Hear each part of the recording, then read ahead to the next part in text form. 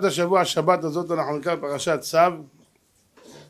וידבר אדוני אל משה לאמור, צו את אהרון ואת בניו לאמור. זאת תורת העולה. היא העולה על מוקדה על מזבח כל הלילה עד הבוקר, ויש שם מזבח תוקד בו. ולבש הכהן מדובד, ונכנס לבד ילבש על בשרו. והרים את הדשן אשר תאכל האש, את העולה על המזבח, ושמו אצל המזבח. ופשט את בגדיו ולבש בגדים אחרים והוציא את הדשן מחוץ למחנה למקום טהור. באש על המזבח תוקד בו לא תכבה וביער עליה הכהן העצים בבוקר בבוקר וערך עליה עולה ויקטיר עליה חלבי של עמים. אש תמיד תוקד על המזבח לא תכבה. זה הפסוקים שמתחילים את פרשת השבוע שלנו והיא מתחילה בפרשת עולה. כידוע לכולכם יש קורבנות בבית המקדש, יש חטאת, אשם, שלמים, עולה, לכן על זה הדרך. כל קורבן יש לו את הדינים שלו. קורבן עולה, למה נקרא עולה? שכולו עולה, עולה, עולה כליל לשם, כולו נשרף. כל קורבן לא מקריבים בשר. אין בשר על המזבח. הקרבה זה דם. שופכים את הדם על המזבח וזהו. השאר אוכלים או הבעלים או הכהנים, ומה שמקריבים על המזבח זה שני דברים, רק דם וחלב. זהו. זאת אומרת, מזים את הדם, יש כל מיני צורות הזעה, יש שתי, שתי מתנות שהן ארבע, יש ארבע מתנות, יש כל דבר לפי עניינו. וחלב, זה מה שנקרא קצר חלבים, שזמנו כל הלילה, כמו שהגמרא מסכת ברכות מביאה, באריכות. ומה שכתוב במשנה שם רש"י אומר קטר חלבים ואיברים, אומר רש"י חלבים אני מבין, מה זה איברים? איברים זה איברי עולה. הקורבן היחידי שמקריבים איברים על המזבח ושורפים אותם, זה רק עולה שהיא עולה כולה כליל. לא נשאר ממנה שום דבר. ומה קורה בקורבן עולה? צו. צו את אהרון ואת בניו לאמור, זאת תורת העולה. רש"י צו אין צו אלא לשון זירוז. ולמה צריך זירוז? כי כל דבר שיש בו חסרון, חסרון כיס, צריך זירוז. זאת אומרת, דבר ש... מה שנקרא, יש לך, אין לך רווח, או שיש לך צורך להכניס יד לכיס ולהוציא, צריך לזרז, כי האדם לא אוהב שנוגעים לו בכיס, בוא נקרא לזה ככה, תן לי, אני רוצה להרוויח. לכן צריך זירוז. מה החסרון כיס שיש בעולה? כל קורבן שכהן מקריב, יש לו רווח. אם זה חטאת, הוא אוכל את הבשר. ואכלו אותם אשר כופר בהם, כהנים אוכלים ואני מתכפרים. זאת אומרת, על ידי אכילת כהן, אתה מתכפר. לדתיים האלה. הוא אוכל, אתה מתכפר, איזה יופי, תאמין לי. מי שפסיכי, זה התגובה שלו. אבל מי שמבין מה זה אכילה של כהנים, שהקדוש ברוך הוא מינה אותם להיות כהנים, ולהם יש את הקדושה ואת המעלה, אז הוא מבין שכמו שהכהן מקריב על המזבח זה קורבן, גם אכילת כהן היא כמו מזבח. הגמרא אומרת שמי שרוצה בזמן שלנו להקריב קורבן, ייתן בשר לגרונם של תלמידי חכמים. רוצה לנסח יין על גבי המזבח, ייתן יין לגרונם של תלמידי חכמים. רוצה להקריב ביקורים, יביא מתנה של אוכל לתלמידי חכמים. הגמרא לומדת את זה מאלישע, איש אלוקים הוא עובר עלינו תמיד, כאילו קורבן תמיד, כאילו ביקורים, אה, מה שהגמרא לא מביאה שם. אז בסדר, אדם יכול אה, להיות איש צדיק וחכם ולהאמין במה שהתורה אומרת, ויכול להיות לץ, ליצנים, לא חסר. אבל אנחנו רבותיי לא רוצים להימנות על הליצנים ואנחנו יודעים שהכוהנים אוכלים ובעלים מתכפרים וזה הסדר. טוב? אבל זה בכל קורבן הכהן יש לו חלק. כשמגיע לקורבן העולה, הכהן מרגיש כביכול שהוא עובד בחינם. אני מקריב, לא מקבל כלום. כל קורבן יש לי משהו. ממילא בקורבן אולי הוא יהיה קצת אולי עצל. אה, מילא בחטאת, אז אני אעשה, כי אני אקבל בשר, ועכשיו אני אעשה על האש, נאכל בשר, כל החלקים הטובים, עכשיו פתאום, פה אני לא מקבל כלום.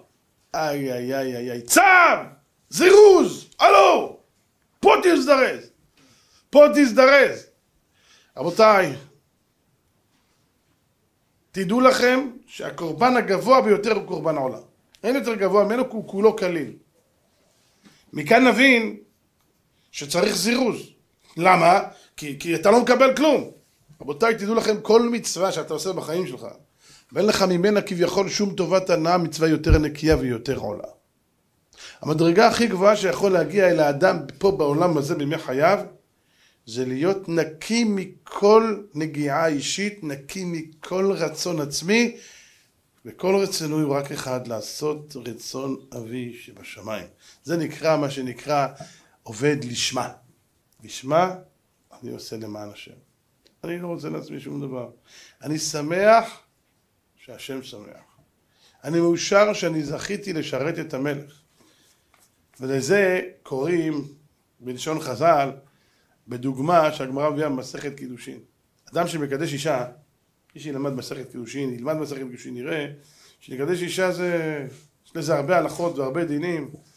אז האיש מקדש את האישה, האישה נקנית בשווה פרוטה. שווה פרוטה. בסדר, יופי. אז מה הוא עושה? לוקח דבר ששווה פרוטה, ומקדש אותה. בואו לצורך העניין ניקח, אדם הלך קידש אישה עם מסטיק.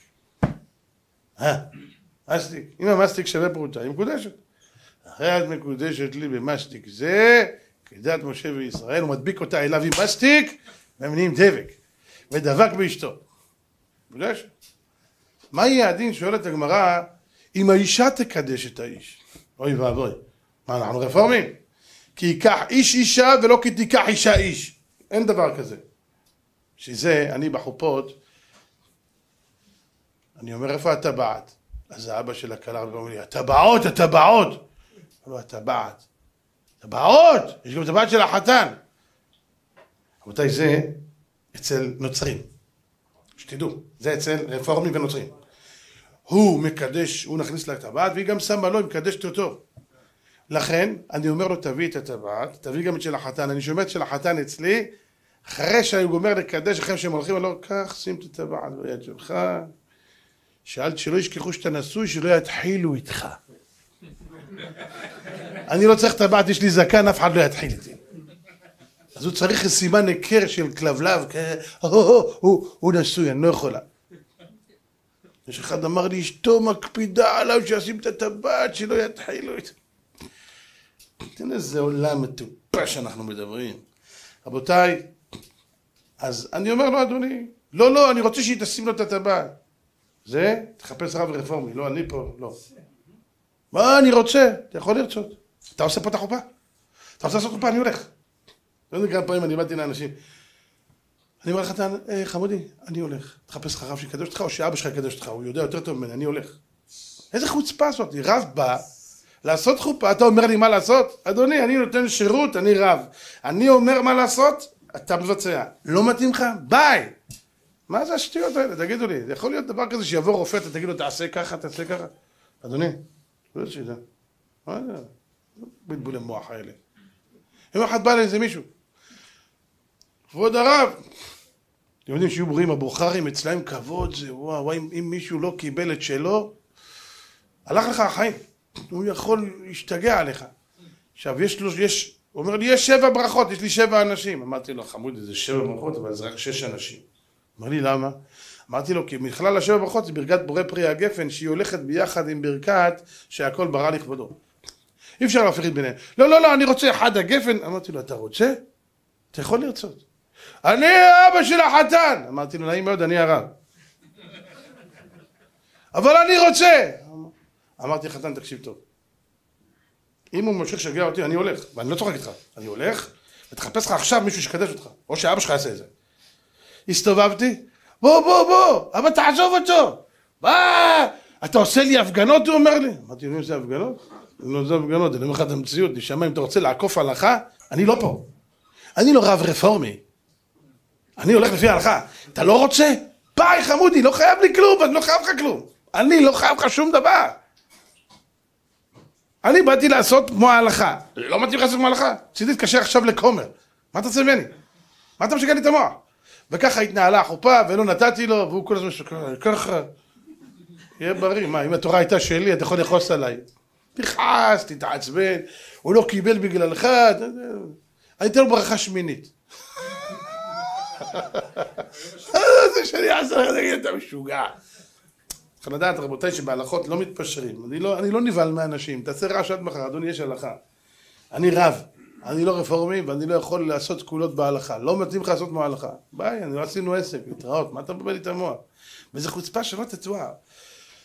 אחד בא אליי, הרב, זה שני העדים שלי. אמרתי לו, מי ביקש ממך להתעסק עם עדים? טוב, מי זה העדים? זה גיסי, וזה, לא זוכר מי זה היה, דוד שלי. אמרתי לו, נשמה, שניהם פסולים. אני פסול! לו, לא נשמה, לא הבנת, אתה לא פסול, אתה צדיק. מה אתה אומר עליי פסול? אמרתי שאתה פסול. אני רוצה להגיד לך, גם משה ואהרון שהם אחים, אם אני אקח את משה ואהרון, הגמרא אומרת, בתור עדים, שניהם פסולים. משה ואהרון פסולים! עזוב אותי, עזוב אותי, עזוב אותי. מה אתה נפגע? קח פנדל, לך הביתה. מה, אתה לא רוצה לקבל מה שהתורה אומרת, אז מה אתה עושה חופה לפי התורה? לך תביא כומר, אני באמת משתגע. אתה שומע על התורה או לא שומע? לא, אני לפעמים לא משתגע. אתה מביא רב, אתה לא מאמין לרב, אז מה אתה מביא רב? לך תביא את מוחמד, שיעשה לך חופה. לא הבנתי. משוגעים לגמרי. אמרתי לו, חמודי, אני מבקש ממך, אל תתעסק לי בעדים. זה נקרא ראשון בראשון, ראשון בשני. אתה מבין משהו בחיים שלך? מה זה ראשון? אמרתי, אתה רוצה עכשיו לשבת ללמוד שולחן ערוך? מה אתה רוצה לבלבל את המוח? אדוני, הם לא מתאימים להיות עדים, תודה רבה לכם, השם יברך אתכם. מאוד מאוד שמח, אמרתי לו זה לא עדים, זה עדים של הקומקום נשמה שלי, זה יכולים להתאדות מפה, זה לא שייך בכלל. זה מטורף, אני אומר לכם, זה יכול לשגע אותי לפעמים. יום אחד גם, אני עושה, אני מספר לכם דברים, אני כבר מדבר על זה, יום אחד אני בא לחתונה, אני אומר, רבותיי, מחילה, חתונה זה כמו מעמד הר סיני, כך כותב הרב חידה, יש לזה מעלה גדולה ומישהי בחופה אסור לדבר, אסור לדבר מילה. בברכות החופה אסור לדבר, יש אנשים מדברים, זה חמור מאוד. והרב חידה כותב על זה דברים נוראים, ואסור לעשן בחופה, זה הלכה, תדעו לכם. כתוב שיש על זה עונש חמור, מי שמעשן בחופה. יש דברים שאנשים לא יודעים בחיים שלהם כלום. ויש עניין בזמן הזה, אתה יכול להתפלל. זה שעת רצון גדולה, כמו מעמד הר סיני.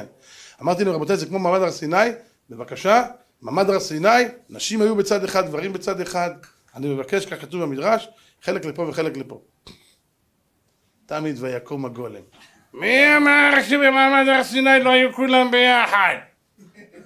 יש לו טישו על הראש שלו, אין לו כיפה, שם טישו. מי אמר שבמעמד הר סיני? אמרתי לו, כך כתוב. אתם ממציאים. אמרתי, אם אני ממציא, למה הבאתם אותי לעשות בחופה? תגיד לי אתה, מרגיש טוב, אני התווכחתי איתך פעם בנושאים שלך. היה פה רב אומר לך משהו, מה אתה פותח את הפה שלך? לא מתאים לך, לך מפה. מה אתה מקשקש? מי אמר ש... מי אמר? מי אמר? כל דבר מי אמר? למה אתה ראית פעם משהו מישהו שאמר, פתחת פעם ספר בחיים שלך. הוא לא יודע מה כתוב בתוך המזוזה, אני מתערב איתך. עכשיו אתה מה כתוב במזוזה, איתך תפילת הדרך. הוא לא יודע כלום, המאה ארצות מרובעים כאלה, שהוא בא, אני לא מצליח להבין, כאילו, אתה לא מבין בנושא, למה אתה מכניס את האף שלך, סתום את הפה שלך ותעשה מה שאומרים לך, לא הבנתי. הזמנת רב את אותו קטע שהוא קטע דתי, קטע הלכתי, תן לרב לעשות, אחר כך מה אכפת לי מה תעשה, אכפת לי, כואב לי שאתה עושה שטויות, אבל אני לא יכול להתערב לך בחיים שלך. אבל מכאן להיכנס לי לתוך, לא ראיתי אף פעם שמפריעים לאף אחד, לא, אפילו לא לעובד בזק, אני אומר לכם, לא לעובד בזק, לא, אף אחד לא מדבר, הוא איש מקצוע, אומר לך, שתוק, הוא איש מקצוע, מה אתה, כשרב מגיע, כולם נהיים חכמים, כולנו חכמים, כולנו נבונים, כולנו יודעים את התורה, מי אמר, מה פתאום, אתה לא צודק, ליצן אתה, מה אתה למדת בחיים שלך? פרוח שלא נפתחו עיניך, אתה לא יודע מה החיים שלך, מבלבל את המוח. אבל אני אומר, זה, זה כל כך פרוץ הדבר הזה, שכאילו תורה זה דבר כזה שכל אחד בא וזורק מהשכל שלו. חברים, זה לא עובד ככה. אז הגמרא, עכשיו, אני חוזר לעניין. הגמרא אומרת שאם אישה קידשה גבר, זה לא קידושים, זה כלום לא. אומרת הגמרא, מה יהיה הדין? האיש הרי צריך לתת כסף, נכון? הוא צריך לקנות אותה. אז הוא נותן לה כסף, והוא קונה אותה, האיש קונה, כן, האישה נקנית, האישה נקנית, ככה הוא קונה אותה, על ידי הכסף, אותו שיווי פרוטה, על ידי טבעת, כן, יש עניין בטבעת, למה מקדשים את המסרים בטבעת, למה טבעת, כיוון שטבעת זה עיגול, וזה משהו שלא נפסק, הסיבוב לא נפסק ככה, הקידושים שלהם יימשכו לעולם, או כמו נקבה תסובב גבר, וכן על זה הדרך, זה העניין של טבעת, למה שמים את זה דווקא באצבע, לכל דבר יש, תדעו לכם, זה לא סתם, כל דבר יש לו הלכה, למה? למה שמים את זה דווקא באצבע? למה לא בזרת, למה לא בקמיצה, למה לא באמה, למה לא בגודה, למה לא? למה דווקא באצבע? אז תספור כל הפסוקים שנאמרו שם למנצח, מזמור דוד השמיים מספרים כבודל, תראה, תמיד תגיע והוא כחתן, יוצא מחופתו, חתן, חתן, כל פסוקים תגיע, בום, לאצבע. ככה כתבו הפוסקים. אז לכל דבר, אני רוצה לומר לכם שלכל דבר יש הסבר. פעם מישהו אמר לי, למה, למה אתם אומרים שאישה נקנית בשביל פרוטה, זה מה שהיא שווה? אתה שואל אותו אם היא שווה פרוטה, טבעת? פעם עמדתי בחופה ואמרתי להם, רבותיי, אני רוצה להסביר, להסביר לכם, יש אנשים אומרים, מה דתיים, פרוצה, פרוצה, זה מה שאישה שווה. תראו כמה שזה הפוך על הפוך, בכלל לא נכון. אמרתי להם, תבינו, למה אני צריך לשאול את הילדים, שווה פרוטה? שווה. מה יש פה אהבל שיחשוב שטבעת מזהב לא שווה פרוטה? מי, מי, מי? טבעת זהב. לא שווה פרוטה, לא שווה... בוא תגיד שהיום פרוטה זה, אפילו תגיד שהיום פרוטה זה לפי הערך של הכסף, תגיד לי פרוטה זה שתי שקל. טבעת זהב, אפילו ציפוי זהב לא יעלה שתי שקל. יעלה הרבה יותר. אז מה אתה שואל את הילדים שווה פרוטה? רבותיי, זה בדיוק הפוך על הפוך. למה לא מקדשים את טבעת עם אבן טובה? אני רוצה לקדש את אשתי עם טבעת יהלום. שווה חמישים אלף דולר. פסול לקידושין. כך כותב הראש, כך כתוב כל הראשונים. למה? כיוון שאם תקדש אותה בטבעת, אומרת הגמרא, אישה לא סמכה דעתה. היא תחשוב, וואי, זה יהלום. בטח זה שווה מאה אלף דולר. אם היא נתנה דעתה להתקדש במאה אלף, וזה שווה חמישים, היא לא מקודשת. לכן מה אני עושה לה עם, עם העדים? קודם כל אני אומר, טבעת עם אבן אתה לא מבין בכלל. שהיא לא תחלום חלומות. ודבר שני, תחלום הרבה חלומות אחרי החתונה, כן? החתונה אין לה מלא חלומות. בסדר, אבל בדרך כלל, לפעמים חלומות מתגשמים, לפעמים. יהיה לך הרבה זמן לחלום חלומות. אבל בינתיים, את החלום הזה נעשה לך טבת חלום. זה לא חלום. חלמת טבע חלמת חזאי. טבעת יהלום לא מקדשים. טבעת רגילה כן, אבל אני שואל את העדים. שווה פרוטה, למה? שהאישה תיתן דעתה להתקדש רק בשווה פרוטה. ואז ממילא כל מה שלמעלה מזה היא תמיד מקודשת, כי זה יותר. אבל אם תיתן דעתה להתקדש ביותר משווה פרוטה, ב-10 אלף, ב-5 אלף, וזה באמת שווה אלף, היא לא מקודשת. זאת אומרת זה הפוך. לאישה אין מחיר. אם אישה נותנת דעתה להתקדש ב-100 מיליון דולר, הוא נתן לה 999 מיליון דולר, היא לא מקודשת. שתדעו את זה. לאישה אין מחיר. לכן אני אומר לה, תתני דעתך להתקדש רק בשביל פרוטה. וזה אחד ההסברים גם למה מכסים את פני הכלה. יש מלא הסברים. אחד ההסברים, שלא תראה במה הוא מקדש אותה, שמגלה דעתה שמוכנה להתקדש אפילו בפרוטה. אז תבינו על מה אני מדבר. אני רוצה שאנחנו נדע, כשאני מדבר על הלכה, לכל דבר יש טעם, וזה לא סתם דברים, יאללה, זה גמרות שלמות וראשונים, אתה רואה את המערך, ואתה לומד את זה, ופתאום אתה שומע איזה אחד, אבל אתה רציני, אנחנו שומרים את הראש חודש על הסוגיה וזה... מותק, לך, תאכל במבה מותק, לך. איך תשגע לנו את השכל, באמת, לא, זה לא רציני, באמת, זה ליצנות. אומרת הגמרא, מה יהיה הדין אם האישה נתנה לאיש 100 דולר, ואמר לו, קדש אותי במאה דולר שנתתי לך. מי צריך לתת למי כסף? הוא צריך לתת לה. היא נתנה לו 100 דולר, ואמרה לו, תגיד, הרי את מקודשת לי במאה דולר שנתת לי, מקודשת או לא מקודשת? אתה יודע מה הגמרא עונה? אם הוא אדם חשוב, מקודשת. מה? אומר רש"י, מה זה אדם חשוב? אדם חשוב שלא מוכן לקבל מתנות. מי נקרא חשוב? לא מוכן לקבל מתנות. זה חשוב. עכשיו, הוא לא מוכן לקבל מתנה מאף אחד. הוא האיש חשוב מאוד, וכולם מעריכים אותו, והיא כל כך רוצה שהוא יקבל ממנה, אומרת הגמרא, כשהוא מסכים לקבל ממנה את המאה דולר, זה נקרא הנאה שיש בה שווה פרוטה, והיא מקודשת. למה? כי הוא אדם חשוב. זאת אומרת, אני יכול לתת למישהו משהו, ומי המקבל? לא הוא, אני המקבל. אני נותן ואני המקבל הגדול ביותר. אתה מבין מה שאני אומר? זאת אומרת, רבותיי, שאם אני עובד את הקדוש ברוך הוא ואני מרגיש שכשאני נותן אני המקבל הגדול ביותר. בעצם הנתינה שלי, אני, אני מקבל על מנת להשפיע. אני רוצה לקבל, אבל למה? כי הקדוש ברוך הוא, כשהוא נותן לי, הוא שמח בנתינה הזאת. אדם שעובד את הקדוש ברוך הוא עם הרגשה שיש לי זכות לעבוד את השם, ותודה לשם שמרשה לי לשרת אותו, זו מלכות. זה רבותיי הגדר הגבוה ביותר של עבודת השם, וזה מה שאומר התנא באבות על תהיו כעבדים המשמשים את הרב על מנת לקבל פרס, אלא היוו כעבדים המשמשים את הרב שלא על מנת לקבל פרס, ויהי מורא שמיים עליכם. אנחנו צריכים רבותיי להגיע לדרגה כזאת שאני לא עושה בשביל העולם הבא ולא בשביל העולם הזה. כך אמר הקדוש ברוך הוא. וזה עושה לו נחת רוח. איך אתה אומר בלשם ייחוד? לעשות נחת רוח ליוצר, אין לו לעשות רצון בוראנו. אישה ריח ניחוח לשם. מה זה? אומר רש"י, אישה ריח ניחוח לשם, שאמר, שאמר ונתקיים רצונו. מה שהוא אמר ואתה עשית, זה הדבר הגדול. אנחנו צריכים לדעת רבותיי, דווקא איפה שקשה לך, דווקא שאיפה שאין לכאורה איזה רווח, זה המצווה הגדולה ביותר, זה קורבן עולה. דווקא איפה שאתה רואה שקשה לך לעשות את הדבר. זה מה שחז"ל אמרו לפום צער האגרא. למה כמה שיש לך צער יותר וזה יותר קשה לך, פה המלחמה הגדולה, תדע לך, למה יצר הרע נלחם בך? במה נלחם יצר הרע? בדברים גדולים. אתם ראיתם פעם רבותיי שמישהו נוסע ברחוב עם אוטו של אה, רכב של אשפה שאוסף את האשפה שיש שם שומרים שלא יגנבו? קח את כל הזבל אחי, מוכן לתת לך אותו מתנה. אתם ראיתם איזה אוטו עומדים שם עם רובים? של הברינקס. שם תראה, למה?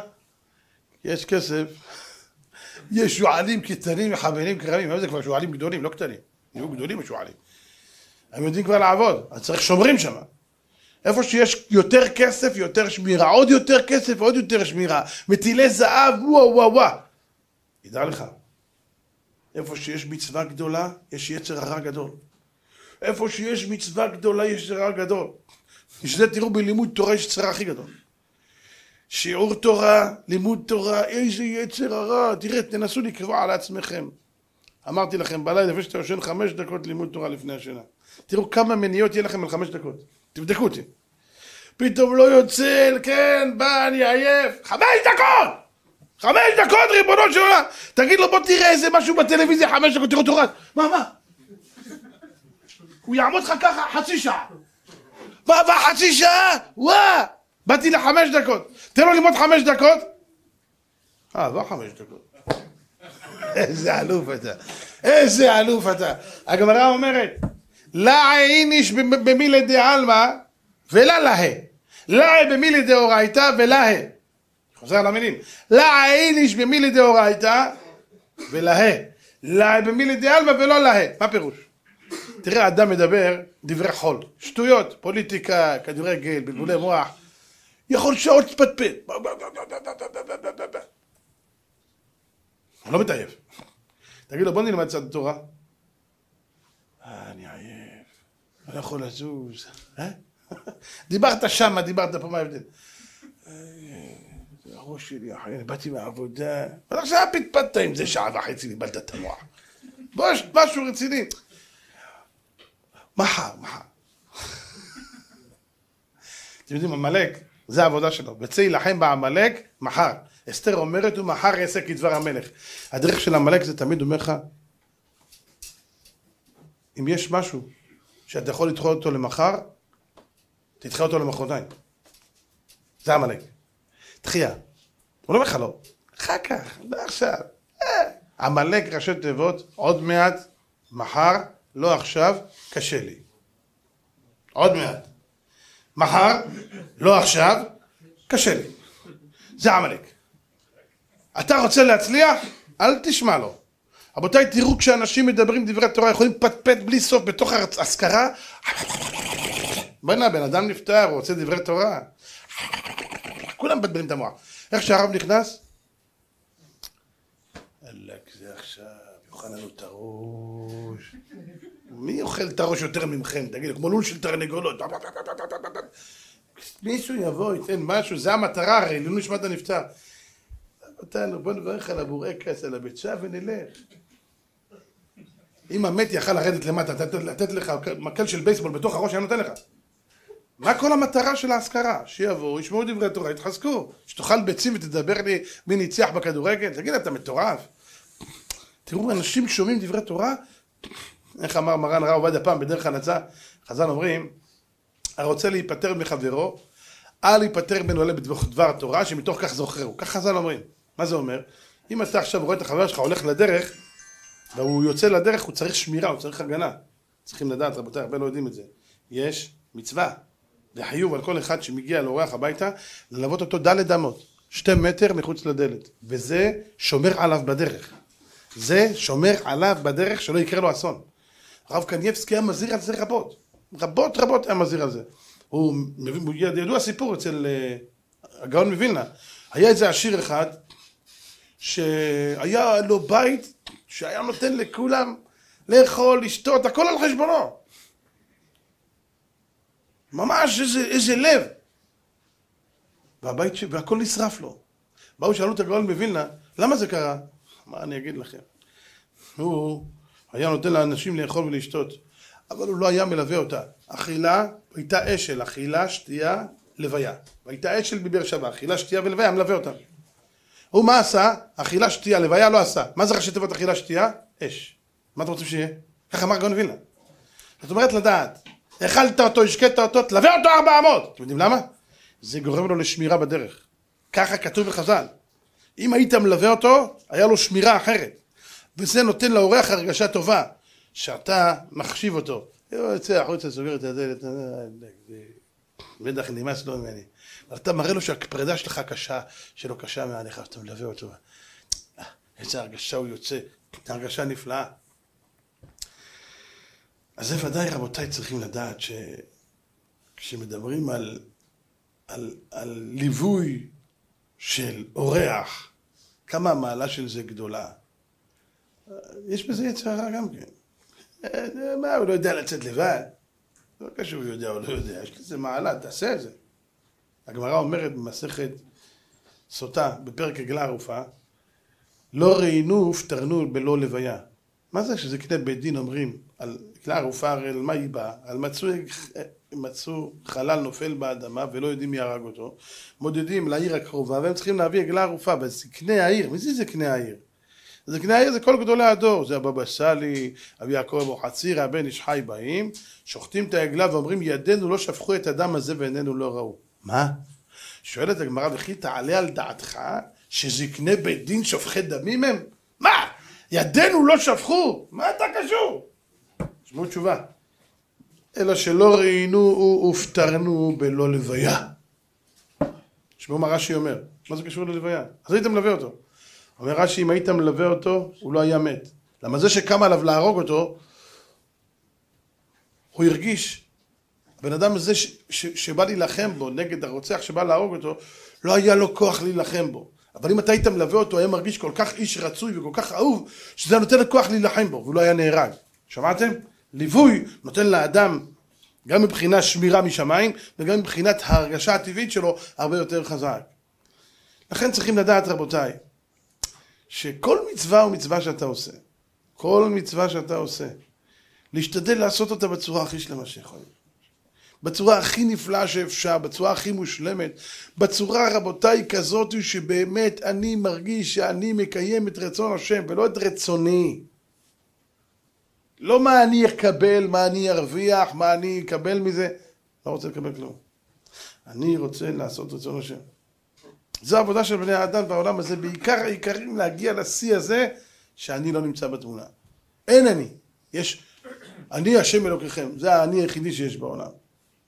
וככה אדם צריך לעבוד. אז אתה אה, אה, אה, מקבל על עצמך, כמו שאמרתי, ללמוד תורה, תראה כמה, כמה, כמה, כמה הפרעות יש בדבר הזה. למה? כי יש לזה ערך גדול. כמה שהמצווה יותר גדולה, תן לכם ההפרעות שלה יותר גדולים. כמה שאתה עושה מעשה יותר גדול, לך יותר הפרעות ויותר מניעות. כמה ככה זה מטורף. אם אתה רואה שאין לך הפרעות, אתה בבעיה. זה מה שהדברים שאתה עושה לא טובים. בדרך כלל איפה יש הפרעה? במקום הגדול. איפה יש הרבה שמירה? איפה שיש הרבה כסף. זו העבודה שלנו רבותיי. לדעת, לדעת רבותיי, אנחנו נמצאים בתור תקופה לא פשוטה. בפרט עכשיו לפני פסח, אז יש לך מצוות להכין את העם, ללכת לקנות מצות ולקנות בשר ולקנות ולקנות ולקנות ולקנות ולעשות, ויש לך מצווה לתת קיום חד פסחא לעזור לעניים. עוד פעם כסף! עכשיו נתנו. לפני רגע, דק הדתיים האלה, מוצצי דמים, אני אומר לך, עכשיו לקחו לי זכר מחצית השקל. ואחר כך לקחו לי מתנות לאביונים, ועכשיו יגידו, עכשיו קמחא דפסחא, יש לכם עוד שמות? הלו, תגיד לי, כשאני אומר לך לתת מזרחם מחצי שקל, אני לא נותן, הרב לא נותן. כשאני מתנות לאביונים, אני לא נותן. מילא היית אומר, הוא לוקח עליך והוא לא נותן, הוא ניחא. הוא בעצמו נותן. זו מצווה, זו שמחה. כשאני אומר לקחת כסף לקמחא דפסחא, הלכה ראשונה בהלכות פסח. צריך לגבות מעות חיטים מכל אחד בעיר, כולם חייבים על זה, כך כותב הרמה, כל אדם חייב לתת, זה לא, טוב אני רוצה לתת, חייב לתת! זה חוב שכולו זכות, תשמח, תעשה את זה בשמחה. בואי איזה כיף השנה בליל הסדר, משפחה שהייתה אמורה לשבת עצובה, אין להם על מה לשבת, ונתת להם כסף, יש להם מה לאכול, והם שמחים בזכותך. איזה מעלה זאתי. מה, שמיכת קרסי, העיקר אני שמח, והוא יושב שם מסכן בצער, משפחה שאין להם. לחיות את עם ישראל, זה, זה הגאולה האמיתית, רבותיי, תדעו לכם, גאולה אמיתית, פירושו של דבר, עם שנגאל, זה עם שהגיע לעצמאות, אתם יודעים מהי העצמאות האמיתית? חג הפסח זה חג העצמאות של עם ישראל, מהי העצמאות האמיתית? שיש לך זמן לחשוב על מישהו אחר. מי שחושב רק על עצמו הוא עדיין עבד. זה עבד, הוא כבול בחבלי האגו שלו. מי שישתחרר מהחבלים האלה. ויש לו מסוגלות להסתכל גם לאחר. מה איתו? איך הוא הולך לחגוג את הפסח? מה עם הילדים שלו? יהיה לו כסף להביא להם לפחות, אם לא בגדים שלמים, אולי חולצה אחת חדשה לפסח. זה הבן שלו, הנעליים שלו קרועות, אולי יהיה לו כסף לקנות עכשיו איזה נעל לשמח את הילד שלו, אשתו הולכת עם נעליים קרועות, לא יודע מה, אין לו לשלם חשמל, לא יודע מה. הוא נכנס לחג עצוב ואתה שימחת אותו. אמר הקדוש ברוך הוא, אם אתה משמח את שלי, אני משמח את שלך. רבותיי, פלא יועץ כותב, תשמעו מילים. הוא אומר, יש לך עשירים גדולים, גדולים, יש להם מלא כסף. תראה על השולחן שלהם אוכל. אין דברים כאלה, הכל הכי יקר, בשר הכי יקר, דגים הכי יקרים, מצ... הכל יקר.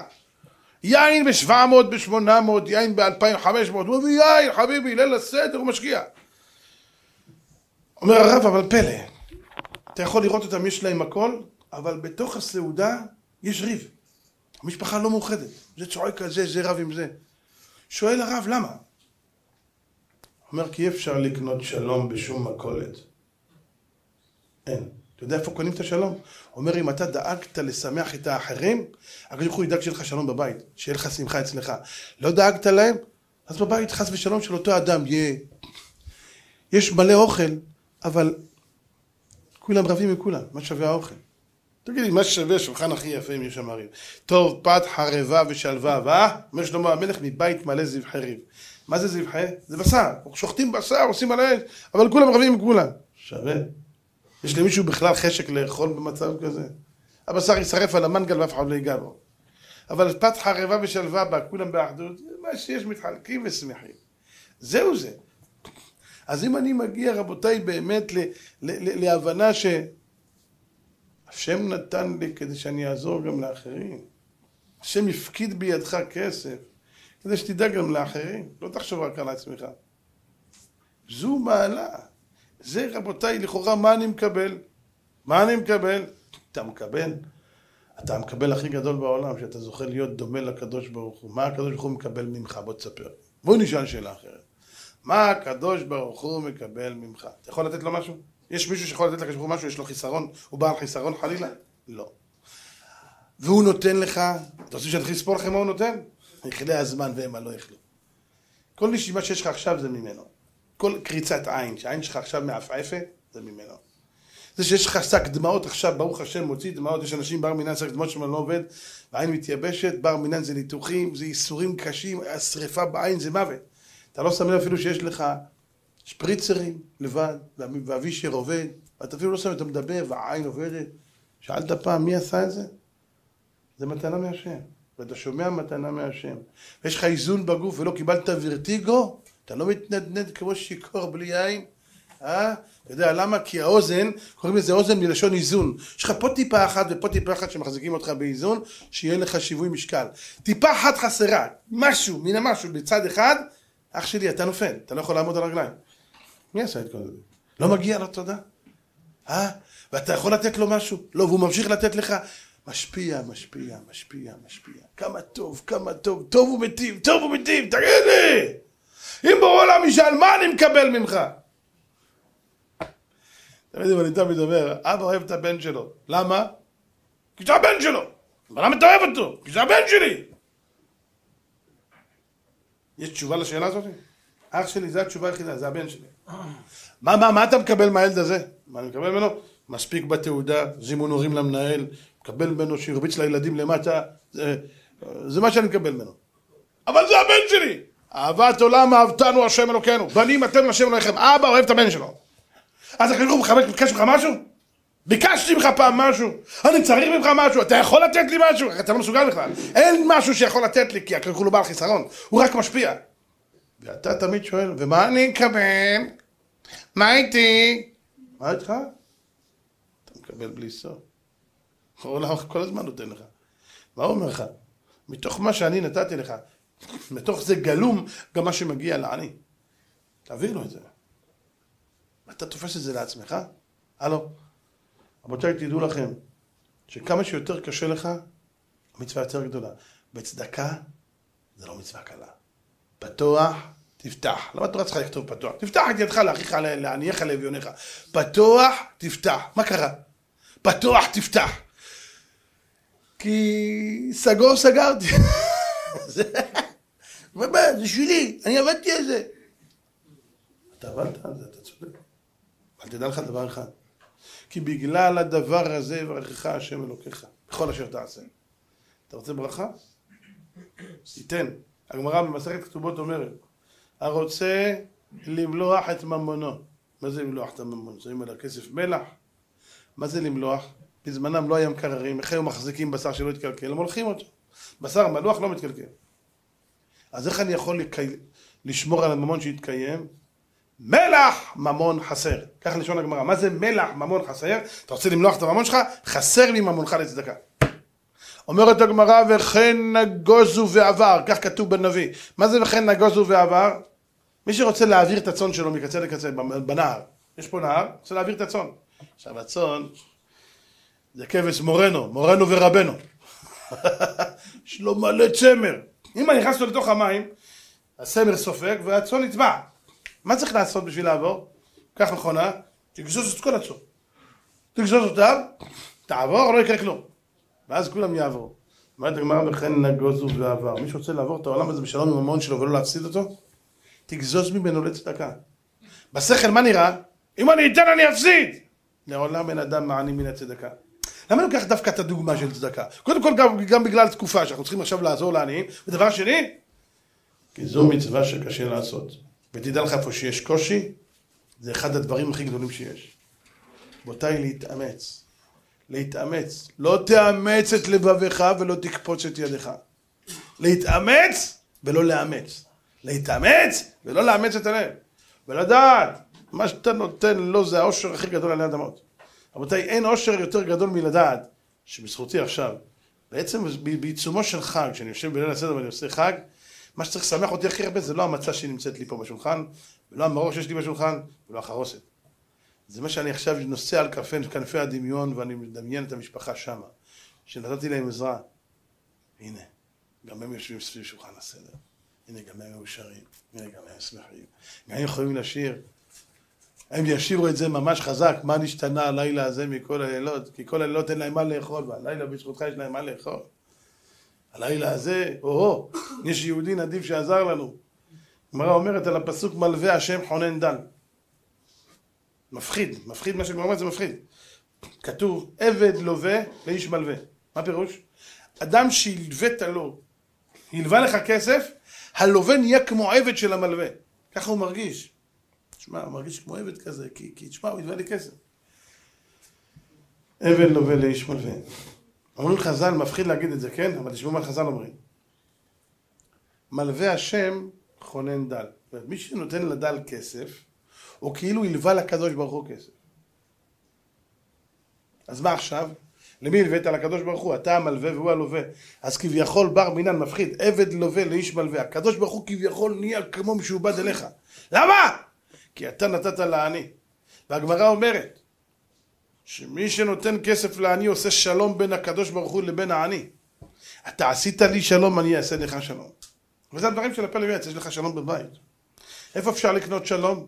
בבית מרקחת? לא. בשלום עכשיו? ממש לא. בחיים לא. אלה, אני שלום אחי, אדבר אליו במלחמה. זה קשקושים. שלום אמיתי, קונים רק עם תורה. אדוני עוז לעמו ייתן, אדוני תבוא שלום. איך בדרכי התורה? שאתה תדאג שיהיה אכפת לך גם מהאחר, רבותיי, זו חירות אמיתית. זה בן חורין. בן חורין זה אחד שמשוחרר מעצמו, ומסוגל להסתכל גם על האחר ולעזור לו. זה יהודי. זה העם הנצח. זה חג הגאולה האמיתי שדואגים לאחרים. זה, זה, זה רבותיי יום העצמאות האמיתי, שאני יכול לדאוג גם לאחרים. לא לקחת את הכסף של העירייה ולראות זיקוקים ולשרוף כסף באוויר במקום לעזור למשפחות שאין להם מה לשלם חשמל. אה, זה לא חג הגאולה, זה לא עצמאות, ככה לא בונים עצמאות. אנחנו צריכים לדאוג לאחרים שיהיה להם מה לאכול, מה לשתות, שיהיה להם מה להתלבש, שיהיה להם מה לשלם חשמל, שיהיו בשמחה בחג ולא בצער. זאת תורת העולה, היא העולה. היא העולה, היא המשובחת, היא המצווה שעולה מעלה מעלה. וזה רבותיי העבודה שלנו הגדולה, לא לפחד מקשיים. רבותיי, ידע לך, מה שקשה זה דבר יקר. בואו נעשה חשבון. אומר, אומר בספר חובות הלבבות, רבנו בחייה, תקשיבו טוב, תראו איזה יופי. הוא אומר, תראה איך העולם שלנו בנוי, תראה בורא עולם משתבח שם עולד. מה שהכי נחוץ, יש אותו בשפע. אוויר, יש בכל מקום. למה? כל הזמן צריכים אוויר. אז אוויר יש בשפע. מים, גם יש אותם בשפע. אמנם האוכל פחות, יש אותו, מים יש יותר, כי הם יותר נחוצים, וכן על זה הדרך. אומר, אבל תלך לדברים הפחות, אה, תלך עכשיו על אבנים טובות ומרגליות, אה, זה כבר, צריך לחפש. למה זה לא כל כך נחוץ? פנינים, זה עבודה להוציא פנינים. צריך לרדת, למצוא לו את הים, ולפתוח את הצדפות, ולהוציא את הפנינים. היום זה כבר לא, היום הכל מלאכותי, היום, היום למדו את השיטה. איך נהיה הפנינים? יש את הצדפה הזאת, היא פותחת את הפה, היא סוגרת, פותחת, סוגרת, זה העבודה שלה. כשנכנס לחול לתוך הלוע שלה, לאט לאט זה נהפך להיות פנינה. אז כל פעם אתה צריך לפתוח, להוציא לה את הפנינה. היום יש להם אקווריומים, יש להם מלא צדפות, מגדלים אותם, זורקים להם חול, יוצא פנינים, בשביל זה היום פנינים עולה לירה וחצי. למה לא מתאמצים? לא שווה גרוש. פעם פנינים זה היה עיקר המציאות. אוי, מי היה פנינים? למלכים. היום? שרשרת פנינים מי קונה? איזה עיראקית בת 760, שמה שרשרת פנינים. אישה צעירה שים פנינים, תגיד לך מה, אני סבתא? אתה? תביא לי זהב. זה, זה, זה, זה, זה ככה עובד. אז מה עובד? כמה שזה יותר יקר המציאות, יותר קשה להשגה הוא יותר יקר. דעו לכם רבותיי, כמה שמצווה קשה להשגה יותר, היא יותר יקרה. אז אם קשה לך ללמוד תורה, דע לך פה, בנו הארי כותב, תשמעו מילים, איך אדם ידע מה בא לתקן בגלגול הזה? מאיפה הוא ידע? מאיפה הוא יודע? מה, אני רבנו הארי? אומר רבנו הארי, דע לך, מה שהכי קשה לך, את זה באת לתקן. מה שהכי קשה לך, את זה באת לתקן. אז בטח כדאי להשקיע שם. כדאי להשקיע שם, ולא לוותר לעצמנו. יהיה לך קשה בהתחלה, צריך זירוז. זירוז, זירוז, זירוז, זירוז. עוד פעם ללמוד על הנושא, עוד פעם לחזור על הנושא, עוד פעם ללמוד על הנושא, לאט לאט, לאט לאט, ואתה הולך על דרך המלך. ואתה הולך ומתעלה. אחת הצרות הכי גדולות שאדם מוותר לעצמו. רבותיי, רחמים עצמיים זה העונש הכי גדול שיש לאדם בחיים שלו. אתה מוכר על עצמך. הרחמים האלה יקברו אותך. אתה צריך להיות כלפי עצמך תובעני ואכזר, לא מוותר. היה פעם, שמעתי סיפור שהוא סיפור מבין. היה סטייפלר עליו השלום, היה לו איזה אחד שהיה איתו בחדר, לא זוכר מי זה היה, איזה תלמיד חכם עצום גם כן. אז הוא ראה אותו חוזר באמצע הלילה, מאוחר מאוד, הוא הלך לזכות את הרבים, הוא חזר מאוד מאוחר בלילה, והיה לו קביעות כל לילה שהיה יושב ולומד את הדף גמרא, הוא היה מקפיד ללמוד דף היומי. הוא בא באיזה שלוש לפנות בוקר ויושב ולומד, עכשיו הוא לא מצליח ללמוד, לומד נרדם, לומד נרדם, לומד נרדם, לומד נרדם. אז הוא ישב שעה וגמר את הדף, אומר לו, תגיד לי, אתה הבנת מילה? הוא אומר לו, לא. הוא אומר, בשביל מה ישבת? אומר לו, זה בשביל הדף של מחר. מה? אם היום אני אוותר, גם מחר אני אוותר. אז זה בשביל הדף של מחר, כשאני אמשיך אותו, היום ישבתי. אתם שמעתם דברים של חכם? לא נוותר לעצמו. ויתרת פעם אחת. יום שלישי אחד. היום אני לא יכול לשיר, אני אעשה הפסקה. הפסקה? אח שלי, אני אגיד לך מעכשיו ביי. תדעו לכם, אני מכיר כל כך, לצערי, כל כך הרבה אנשים שהיו כל כך גבוהים, הם ידעו לעצמם פעם, אם תעזבני יום, יומיים יעזבך. אומרת הגמרא, כשאדם מתרחק מהתורה יום אחד, מתרחק, זה נראה מרחק יומיים. למה? אתה הולך יום והיא הולכת ממך יום. כמה מרחק בינתיים? יומיים. עוד יום, גם מתרחק עוד יום. גם מרחק עכשיו ארבעה ימים. ואחר כך זה כבר נהיה, או, כזה קשה שאי אפשר לתאר. זה נהיה אה, קשה לחזור. שנה הוא פירש קשה מכולם. קשה! למה אתה מוותר לעצמך? למה אתה מוותר לעצמך? אין ויתורים, אח שלי, יש קביעות, לא זז. יש לי שיעור, מתהפך העולם, אני לא מוותר עליו. אני יודע שאני חייב לתת שיעור, אני לא עוזב, אני בא. אתה יודע שיש לך שיעור לבוא לשמוע, אתה לא עוזב, אתה בא. אתה יודע שיש לך מחויבות לדאוג לעוד אחד, תבוא לשמוע שיעור, יתחזק. אין לזה ערך ואין לזה שיעור, אי אפשר לתאר מה זה בעולם הבא. הרב חיים הקדוש כותב, אדם כי יקריב מכם, פרשת שבוע שעבר. אדם כי יקריב מכם קורבן לשם. מן הבהמה, מן הבקר, מן הצאן, תקריב את קורבנכם, אומר הרב חיים הקדוש, אדם כי יקריב, אתה רוצה קורבן הכי גדול? מכם! תקריב מכם, תקריב מהחברים שלך, תקריב אותם לשם, קרב אותם לשם, תביא אותם, אומר הרב חיים הקדוש, אין לך קורבן יותר גדול מזה. שהבאת חבר וזכית אותו לדעת מה זה אלוקים, לדעת מה זה שבת, לדעת מה זה תורה, לדעת מה זה מצוות, לדעת מה זה בית של תורה, לדעת מה זה לקחת אישה שהתחתן עם אישה שתרצה חיים של תורה. כמה לצערי אני שומע בחורים צעירים שהם לא מבינים מה הם עושים לעצמם. אני אומר לכם, לא מבינים מה הם עושים לעצמם. הרב, אני מתחתן עם החברה שלי, עם העבירה שלי. אני שואל אותו, אתה מתחזק? כן, הרב, אתה רואה יפה. מה איתה? אני מתפלל עליה. יפה. אח שלי, אני אוהב אותך, בשבילך. אתה מחפש צרות בחיים שלך? שמע לי, אם אתה רואה שהחברה שלך לא רוצה תורה, היא מתחזקת בשביל... אני אתחזק בשבילך, אתה תסבול הרבה בחיים שלך. אתה תסבול. עם כל הקושי שבדבר, קאט. אתה מנתק איתה קשר, כמה שאתה אוהב אותה, לא, לא, לא. אני מבטיח לך שאחרי החתונה אתה תשנא אותה. בטוח. אתה לא מבין כמה. אתם לא יודעים מה זה בית קטוע. בית מחולק לשניים. האבא רוצה שילד ילמד בתלמוד תורה, אמא רוצה בית ספר חילוני. אתם יודעים איזה מלחמות, אני רואה את זה. למה אתה נכנס עם ראש בריא למיטה לא חולה, מיטה שהולכת למות? לא מצליח להבין את זה. לא, אבל אנחנו חברים הרבה שנים, ואני מת עליה, והיא מתה עליי. לכו לחברה קדישא. מה אתה מת ומתים? מה יש לכם? אתם השתגעתם על השכל? מתאים או לא מתאים? יהיה לכם חיכוכים שאתם לא מתארים אחרי חתונה, חיכוכים מטורפים. רבותיי, זה לא עובד ככה. הלו, התאמה זה לא רק איזה חתיכה, איזה חתיך, איזה בטיח, תראה איזה עיניים יש לה, תראה הגבות שלה מגיעים לתאילנד. תפסיק לבלבל את המוח, תראה איזה ציפורניים יש לה כמו של מחשושה. יאללה, שכח אותי, בחייאת, באמת, אתה בן אדם לא נורמלי. אתה צריך לראות שאתם מתאימים, באמת הכל מסתדר. אחרי החתונה, רבותיי, זה לא כמו לפני החתונה. שם ריבים, זה ריבים כמו שצריך, שם הכל קללה זה עם האחים והאחיות, אמא שלך, אבא שלך, סבתא שלך. אל תשאל, מביאים את כל הגן החיות. אתה לא רוצה להיות שם. אתה רוצה אישה? קח אחת מוכנה. אתה דתי, אתה לוקח אישה דתייה. אתה חרדי, אתה לוקח אישה חרדית. אני חילוני, דתייה, לא, אנחנו נכבד אחד את השני, כל אחד בדרך שלו. לך לך הביתה, לך. לך לדבר עם השמאלנים, תבוא, את השכל, אני לא אוהב את השטויות האלה. דברו איתי דברים הגיוניים. רבותיי, זה לא עובד. על אחריותי זה לא עובד. לכל כך הרבה ראיתי את זה בחיים שלי, לצערי, זה לא עובד. לא עובד, אין מציאות. חזקתי בשבילך, ואני עושה בשבילך, פתאום יום אחד היא זורקת את כל הבשבילך, ואתה רואה, אין בשבילך ואין בשבילי. הכל עף.